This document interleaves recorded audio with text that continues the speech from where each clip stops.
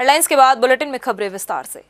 पाकिस्तान के विदेश मंत्री बिलावल भुट्टो द्वारा प्रधानमंत्री नरेंद्र मोदी पर की गई टिप्पणी को लेकर देश भर में भारतीय जनता पार्टी प्रदर्शन कर रही है।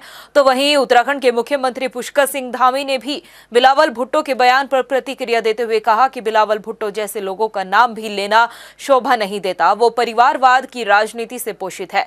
चाहे बैनर्जी भुट्टो हो, चाहे जुल्फिकार अली भुट्टो हो, ये सब वंशवाद से पोषित लोग हैं। मुख्यमंत्री पुष्कर सिंह धामी ने कहा कि पाकिस्तान पाकिस्तान बर्बादी की कगार पर खड़ा है। उन्होंने प्रधानमंत्री नरेंद्र मोदी पर की गई टिप्पणी को देश की 135 करोड़ की जनता का अपमान बताया है।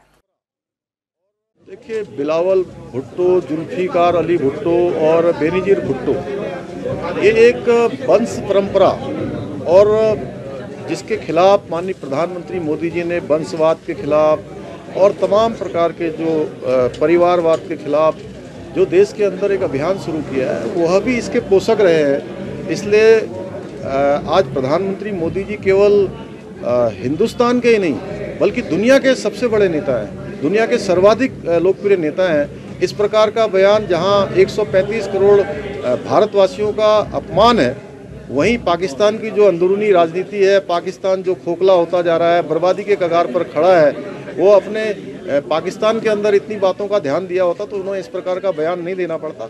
हम बिलावल भुट्टो जैसे लोगों का नाम भी नहीं लेना चाहते।